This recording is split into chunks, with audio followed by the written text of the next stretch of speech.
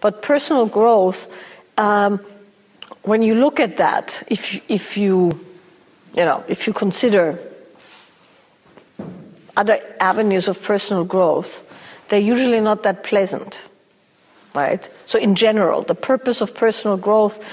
Um, in its very definition, if you believe in personal growth, means that uh, you're going to um, be in moments of increased pressure that will either cause you to break or grow. Right? That's what personal growth is about. How uh, the motivations for personal growth can be anywhere from really healthy to really fucked up. Right? So when you come from a place of I'm not good enough and hence I need to grow, that's a battle you can never win.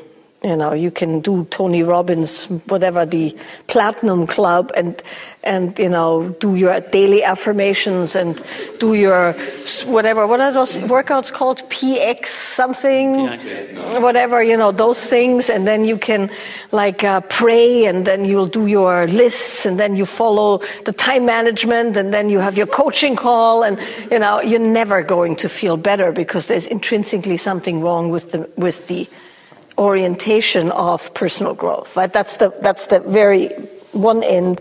The other end is that you are intrinsically interested in your development, human development, and skill development. Service. And, hmm? and service. And service, right? And so you um, develop yourself for the sake of others, for the sake of your best self, for the sake of, you know, why not? essentially. So that's the full spectrum of personal growth. But nowhere on that spectrum is it pleasant. Really, right? So when your um, idea of relationship changes because maybe you've had enough personal growth for the time being, or you've worn yourself out and there's only so much a, a human can do till they need some break uh, or some rest. Because you wouldn't do personal growth every day, all day, uh, in, in any other domain, right? Uh, you wouldn't work out every day, all day, uh, or, you know, acquire a new skill every day, all day.